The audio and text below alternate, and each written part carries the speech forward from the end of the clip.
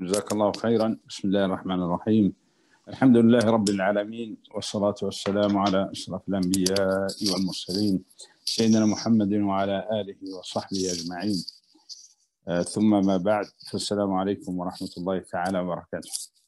أولا بداية آه، أتقدم بالشكر الجزيل للدكتور عبد القادر والدكتور عبد اللطيف على آه، تنظيم هذا الملتقى الحواري والسياسي. والذي يلبي حاجة ماسة في الشارع الليبي اليوم فنحن أزمتنا آه، تحتاج إلى الحوار ثم الحوار ثم الحوار. ثانيا هنا لا أتكلم آه، باسم الجماعة باسم جماعة الإخوان المسلمين.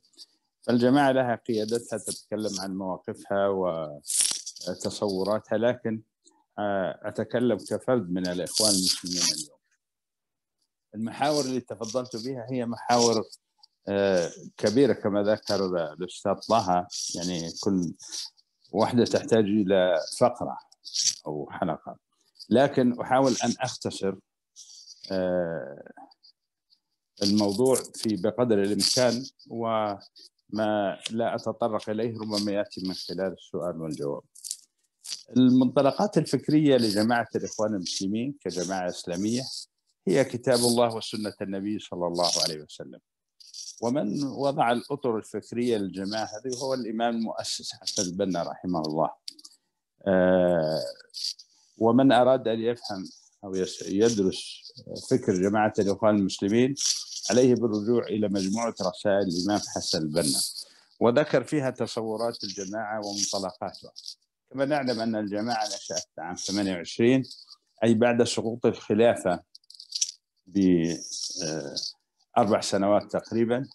ومن هنا كانت آه، الآرات بعد سقوط الخلافة. هذه أول مرة في التاريخ الإسلامي تاريخ المسلمين أن يبقوا بلا خلافة. وإن كانت الخلافة التركية الخلافة العثمانية في آخر عهدها كانت عبارة عن خلافة رمزية لكن ترمز إلى وحدة المسلمين. فقد كثرت الانشقاقات عنها وبدأ الضعف يضرب فيها. وعندما سقطت بدأ المفكرين الإسلاميين والمسلمين عموما آه، يبحثون في كيفية النهوض بالأمة والعودة بالأمر إلى ما كانت عليه عزة الأمة قبل ذلك.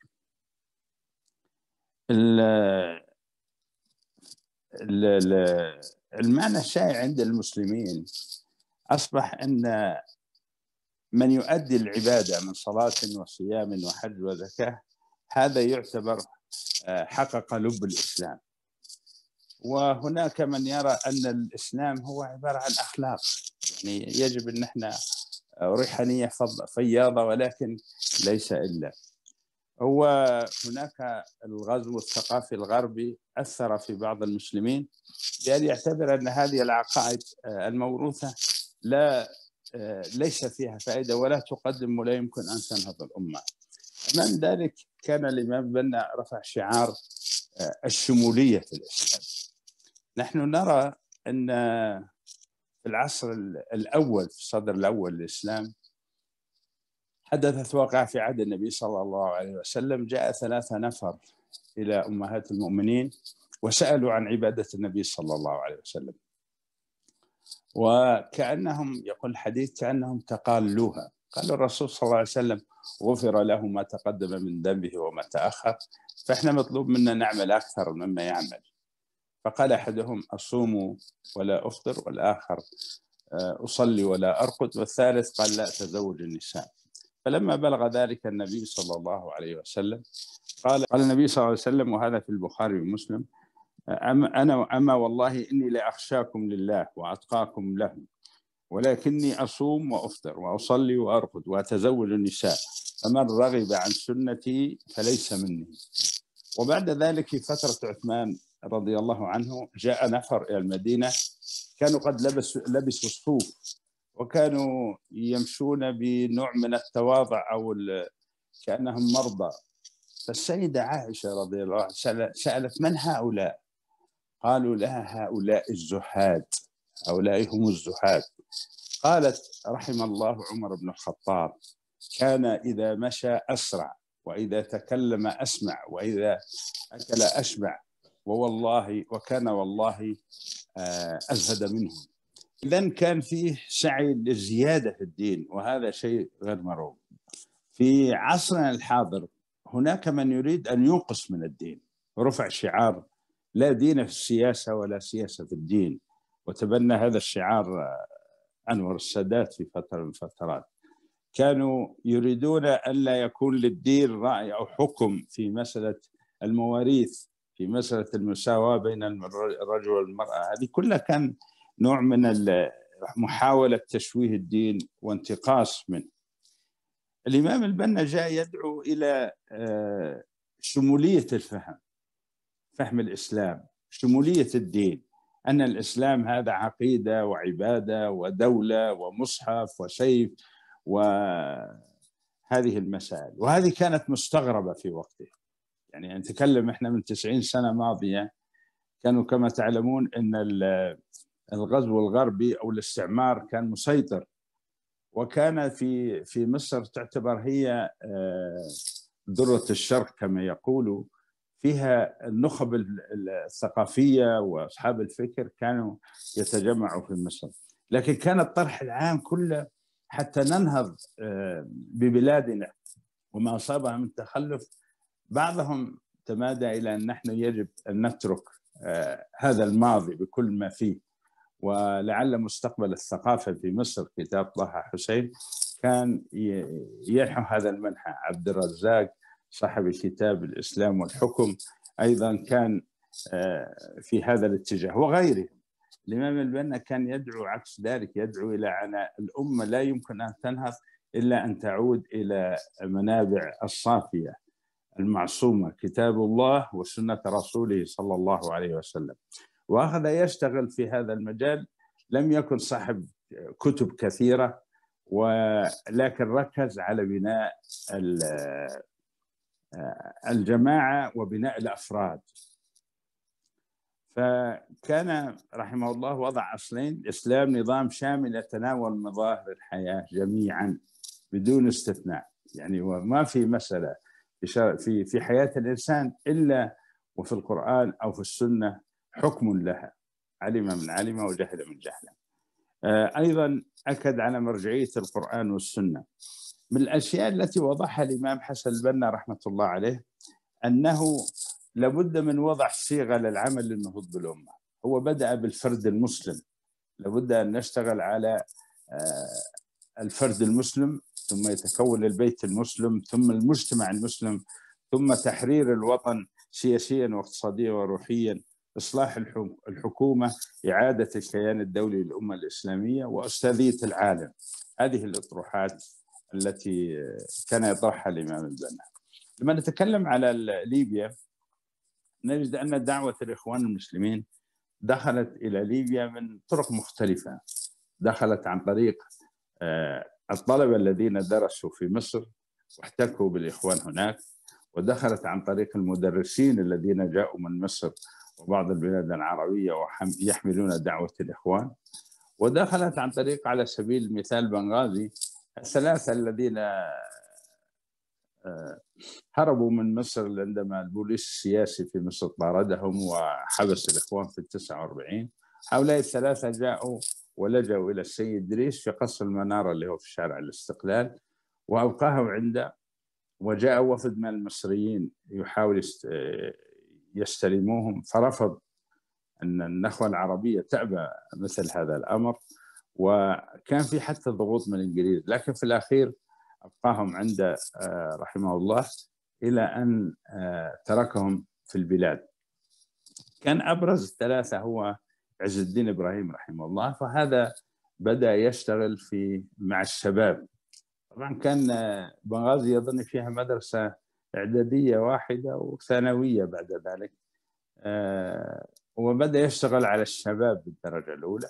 فكان يقيم لهم الرحلات والجلسات والحلقات وبرز عدد من تربية عدد من الشباب من الأسماء اللي كانت في بغداد في ذلك الوقت. عندك صالح الغول إبراهيم حماد مصباح عريبي رحمه الله محمد معتوق رحمه الله محمد المنقوش محمد المقريف محمد طغيب بعدين مصطفى جهاني رحمه الله دريس ماضي رحمه الله. وعبد الله بوسن وأيضا التحق بهم أظن الحاج يونس البلالي حفظه الله موجود معنا.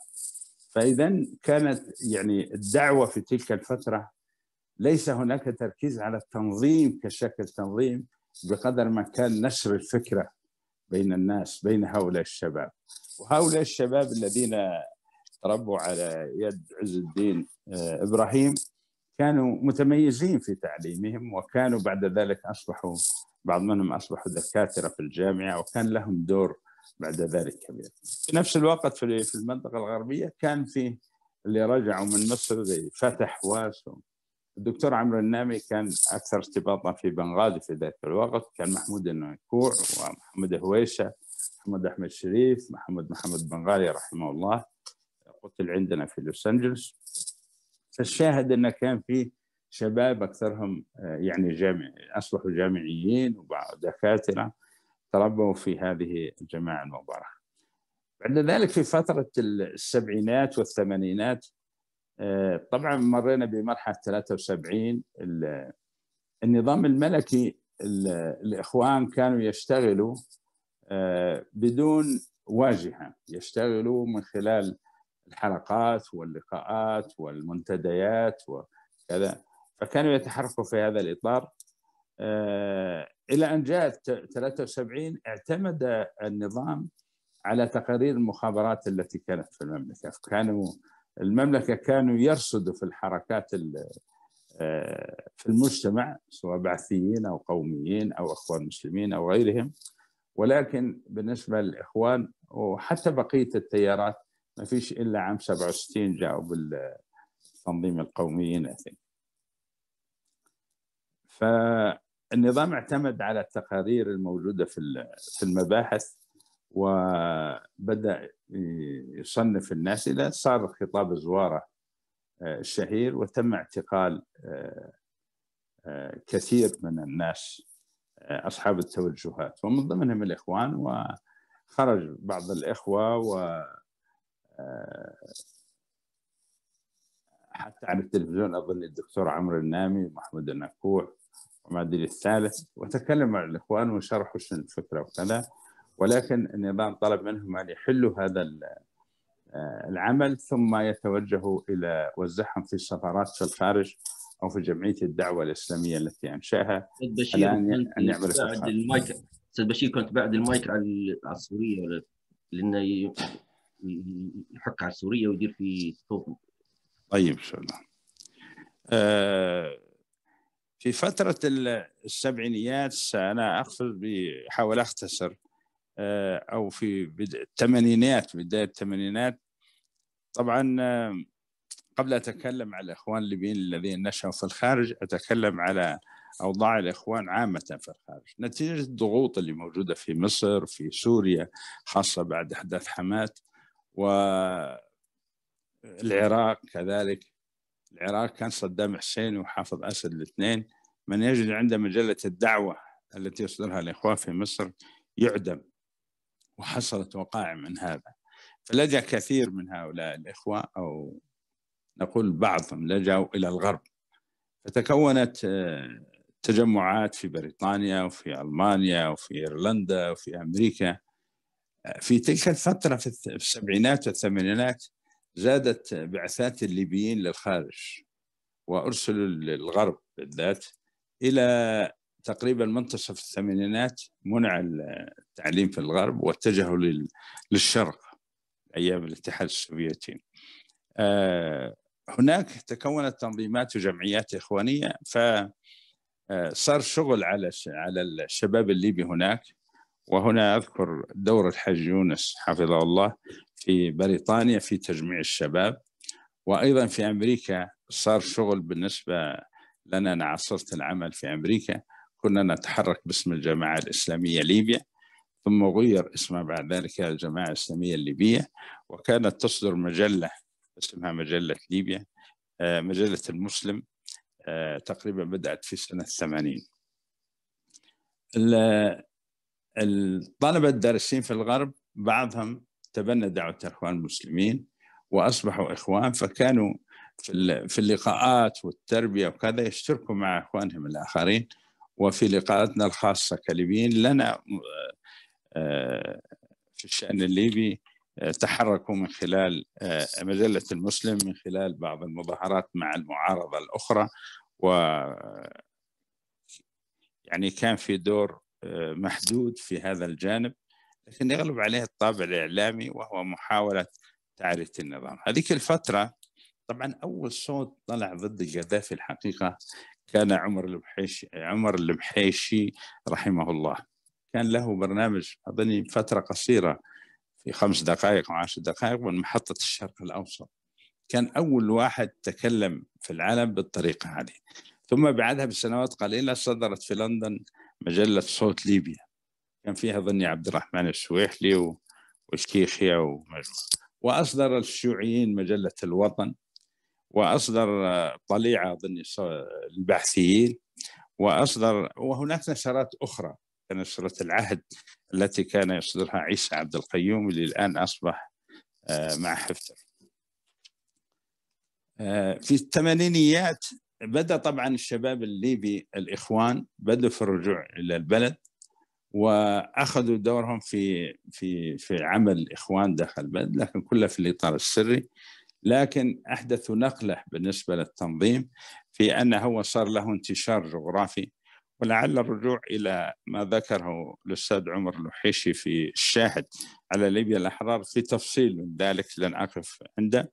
لكن تميزت مظاهر الثمانينات في الجماعة أن أصبح في خطة سنوية وخطة خمسية وفي رؤية وبدأت الهيكل التنظيمية تشتغل وتكونت الأقسام منها قسم نشر الدعوة والتخطيط والتربية والاستيعاب إلى آخره. ولذلك ونظرا لظروف البلد أن أصبح هذا هذه الهيكلية لا تشتغل مع الواقع الأمني الموجود في ليبيا لذلك انتقلت القيادة إلى الخارج وأصبحت المؤتمرات العامة تعقد في الخارج. وفي مسألة لابد أن نقف عندها أن الإخوان تقريبا من سنة يمكن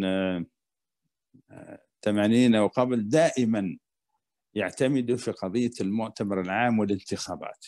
يعني دائما هذه مسألة أصبحت يعني ثابتة عند جماعة الإخوان المسلمين.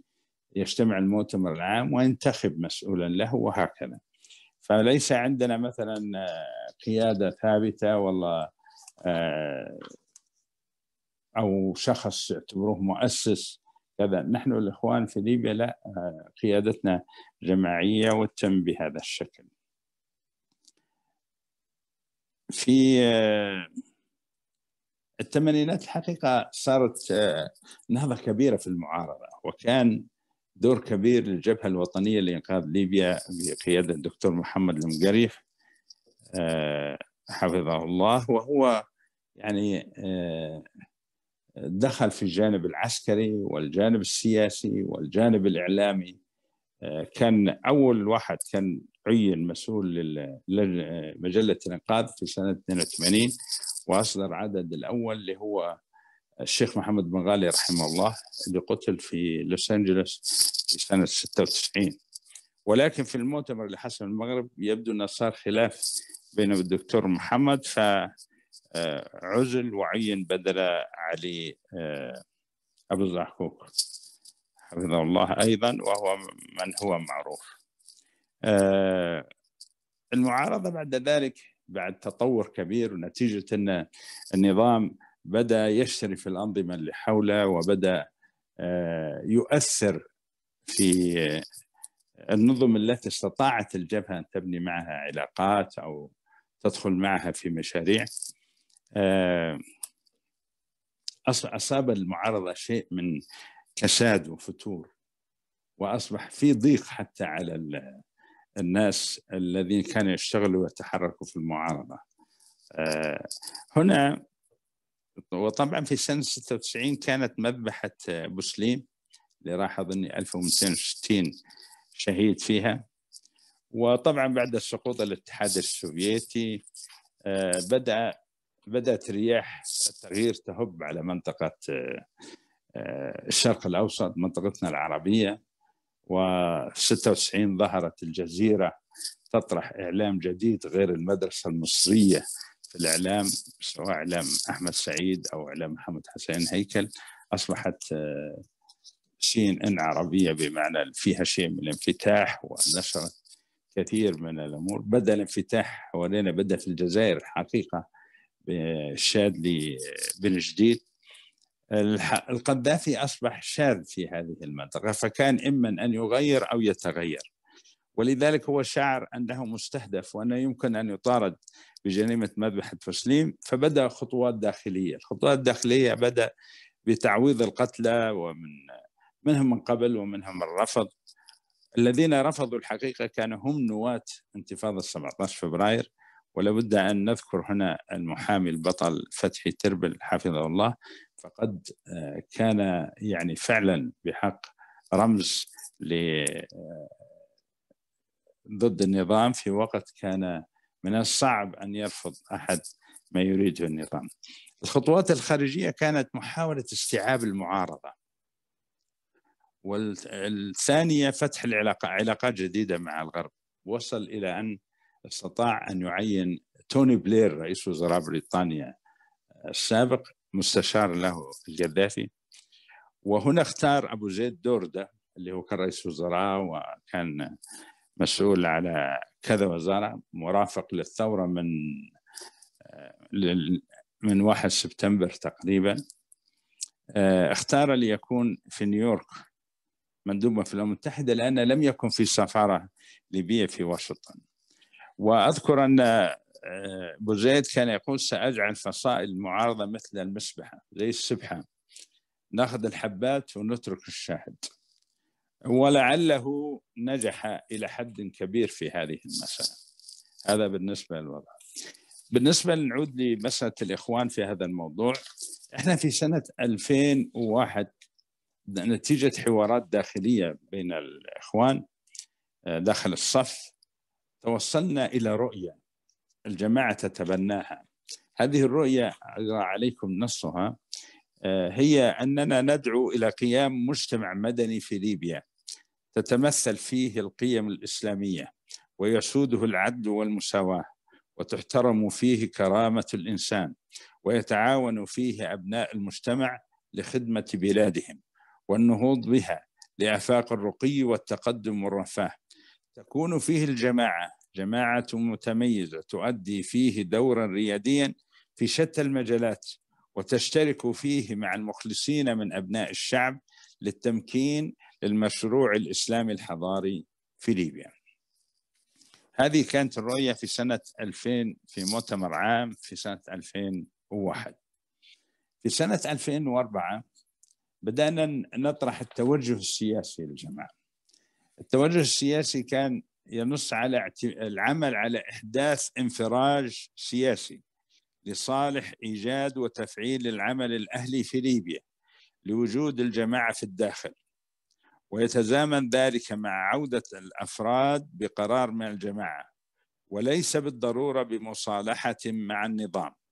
وإذا لم يتحقق الانفراج خلال الدورة يقدم مجلس الشورى تصورا جديدا للمؤتمر في ختام الدورة. ما هي ملامح الانفراج التي وردت هنا؟ قلنا إن الانفراج السياسي المطلوب واحد السماح بالعمل الدعوي الاجتماعي من خلال مؤسسات أهلية قانونية إطلاق سراح سجناء الرأي جميعا والسماح بعودة المهاجرين إلغاء المحاكم الاستثنائية وعدم محاكمة المدنيين أمام محاكم عسكرية إلغاء قانون ميثاق الشرف آه والمهم تحقق المطالب على أرض الواقع. هذه كانت ملامح الانفراج السياسي كما يراها الإخوان المسلمين في ذلك الوقت. ثم بعد ذلك بدأت حوارات وطلب النظام أن نفتح باب الحوار فكان عدد من اللقاءات على الأقل أذكر ما شاركت فيه كان لقاء سويسرا مع أبو زيد دوردة ولقاء لندن مع محمد جزوي وأبو زيد دوردة ولقاء لندن أيضا مع السيف الإسلامي القذافي.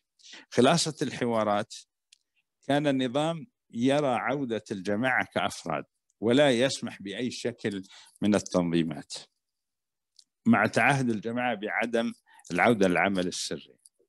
والجماعة كانت ترى عودة الجماعة في كيان منظم ولو دعوي أو اجتماعي. هنا صار في حوارات في الداخل بعض الناس رفضوا هذه مواقف الجماعة ففصلوها. أولا قبل أن تحدث هذه كان الدكتور علي الصلابي بدأ في حوار مع الجماعة ودخل في قضية مراجعات جماعة الجهاد فترك الجماعة ثم صلاح الشلوي ثم سليمان دوغا الذين خرطوا في مشروع ليبيا الغد استمر هذا فنحن لم ندخل لا في مشاركة ولا في مجال يعني اتفاق مع النظام بالنسبة للجماعة كجماعة. أيضا في قرار أظن بحيث أن أفراد الجماعة لا يدخلوا في مسؤوليات في في الدولة وزراء أو سفراء إلى آخره.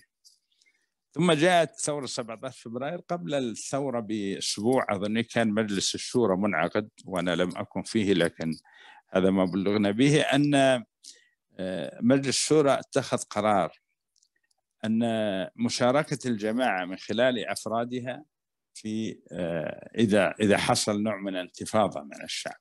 وبالفعل هذا ما تم. عندما وقعت الثورة دخل أفراد الإخوان في مع في تكوين كتيبه 17 فبراير واللي تولد تدريب الإخوة من الغرب ومن المناطق الأخرى. الكتيبة الأمنية لحفظ الأمن في بغازي كان لهم دور فيها والعمل الاغاثي في العمل الاغاثي كانت لنا مؤسس ما نداء الخير وكنت أنا مديرها. استطعنا أن نوفر من خلال دعم الإخوة في الخارج عن طريق تبرعات من الخليج وكانت تدخل عبر مصر وكانت القوافل بالمناسبة تخرج من أمام مسجد رابعه العدوية الذي أزيل الآن. وتتجه إلى ليبيا ولأن ليبيا بالذات المنطقة الشرقية تعرضت لحصار. المنطقة الغربية مقفلة والبحر مقفل والمنطقة الشرقية المجلس العسكري كان أيضا متحفظ ومتحفز بالنسبة لشرق ليبيا. المهم استمرت هذه الفترة إلى أن تم إعلان التحرير و في 20 أكتوبر وفي نوفمبر دعونا المؤتمر العام للانعقاد. وكان في بني غازي وأول مرة يكون مؤتمر عام للإخوان معلن. وكان الجلسة الافتتاحية دعي لها أعيان البلاد ورجالاتها وكذا من غير الإخوان. ثم كان لقاء لمدة يومين أهم ما في هذا المؤتمر كان هو مناقشة العمل السياسي في المرحلة القادمة كيف يكون. وبعد نقاشات طويلة أمام كانت ثلاث خيارات. أن جماعة الإخوان نفسها تتحول لحزب سياسي. أو جماعة الإخوان المسلمين تبقى جماعة دعوية وتكون ذراع سياسي. أو الاحتمال الثالث أو التوجه الثالث أن تكون تنظيما مستقلا ماليا وإداريا وتنظيميا يكون يعني يحقق أهدافه بس تكون مرجعيته مرجعية إسلامية. وهذا الأخير الذي فاز تقريبا بثلثي الحاضرين. ففي مارس على ضوءها تكونت لجنة تحضيرية من الإخوان لتكوين الحزب. ففي مارس تكون الحزب. كان في المؤتمر التأسيسي كان الحاضرين 1700 تقريبا. عدد الإخوان لا يتجاوز أظن بين 300 إلى 400 أخ. ورغم ذلك عند الانتخابات الهيئة القيادية العليا فازت معظم أو اختير معظم الإخوان. وهنا صدر قرار وأنا يومها كنت المسؤول.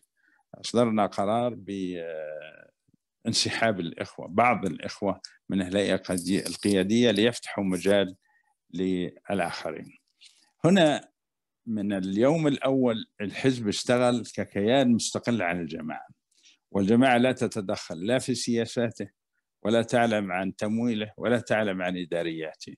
فهو نظمته لائحة قررها المؤتمر يشتغل من خلالها وكان وليس كل قيادة الحزب من الإخوان المسلمين وهناك ما يعني الحزب عندما انطلق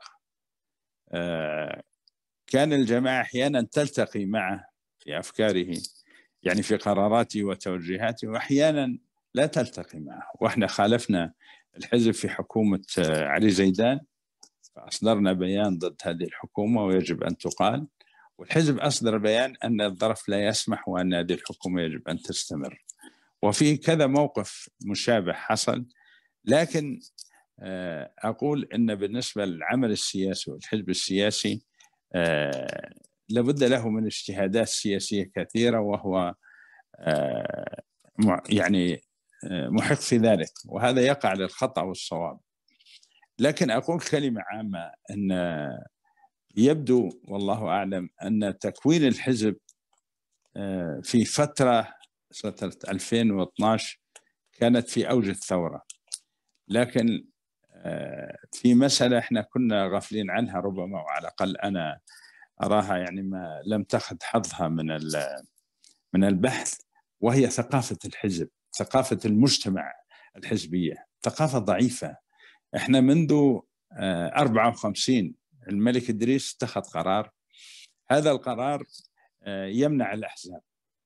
وبالمناسبة الإمام البنا رحمه الله كان له نفس الرأي. والملك إدريس أيضا عاش في مصر ورأى الأحزاب في مصر كيف تعمل وتأثير الإنجليز عليها إلى آخره والمشاحات بينهم وكذا فكان يؤثر ألا يكون في أحزاب. لكن أعتقد أنه بهذه الطريقة هو دق أول مسمار في نعش المملكة لأن ما حصل بعد ذلك من تزوير في الانتخابات حصل بعد ذلك من آه، الاعتماد الكثير على القبليات.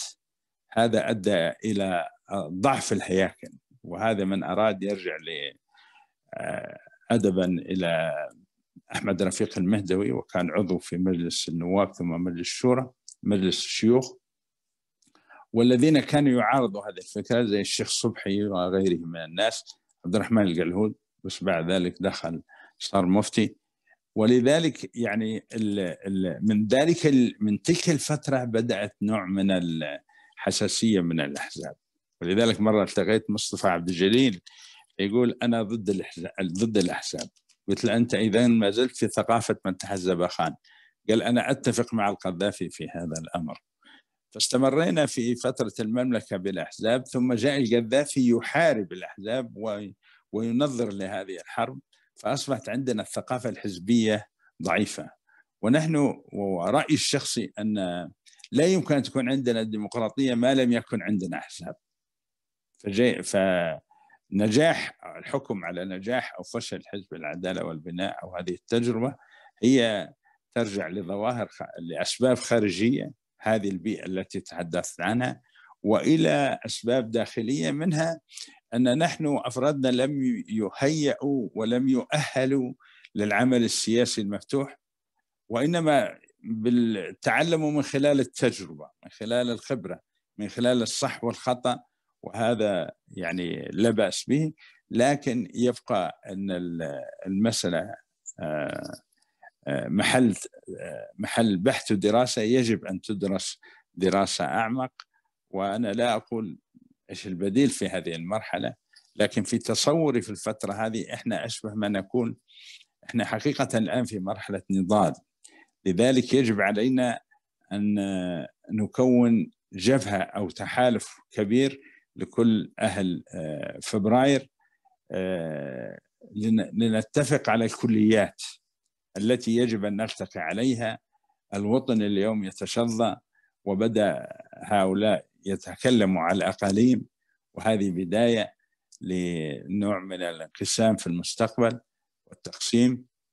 يجب أن نقف ضد هذا التوجه ولا نسيره ولا نقره فهذه تحتاج إلى جبهة قوية. من القوى الوطنية في مختلف آه، مواقع البلاد أنها تقف هذا الأمر. العسكرة نحن الحفتر أو المنظومة هذه أو الأنظمة محور الشر الليكود العربي اللي موجود حولنا هذا يسعى فعلا مازال ولم ييأس من عودة ليبيا إلى المؤسسة العسكرية كما حاصل في الجزائر من وراء حجاب والله في مصر مباشرة.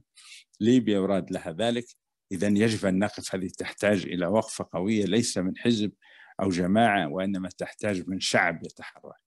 يوم ما إحنا كشعب ليبيا اجتمعنا وقررنا من شرقها لغربها لجنوبها لشمالها أن القذافي آه، لا يبقى. وعزمنا على هذا الأمر وقدمت الدماء زكية وضحي بشباب طاهر تحقق الهدف. اليوم لو نتفق على هذه الأشياء الثوابت الكلية أنا أعتقد إن شاء الله تتحقق ولكن للأسف ما نراه آه الله سبحانه وتعالى يقول ولا تنازعوا فتفشلوا وتذهب ريحكم. آه معارك جانبية قضايا جزئية آه تؤدي إلى نتائج آه، غير محموده لا قدر الله. اذا الحزب هو كيان آه، مستقل عن الجماعة منذ تأسيسه ولا تربطه قضايا تنظيمية بهذا بالجماعة. استمر الحزب في عمله واستمرت الجماعة في عملها. في داخل الجماعة حوارات حول طريقة عملنا في المرحلة القادمة. أنا لا أريد أن أسبق ولا أريد أن أعلن شيء هو من اختصاص القيادة لكن هناك توجه إلى أن نحن نتحرك في الفترة القادمة في إطار مختلف عن الإطار السابق وهو من خلال آه، تغيير اسم الجماعة ومن خلال آه، إعادة هيكلية جديدة وتحقيق ووضع أهداف جديدة وهذا متروك الآن للقيادة بعد التوجه العام الذي إن شاء الله ستسير فيه الجماعة. لعلي أتوقف هنا لأني سأترك مجال للتعليقات والسؤال وممكن ما لم أمر عليه أن أذكره من خلال السؤال والجواب وجزاكم الله خيرا. شكرا يا دكتور عبد القادر.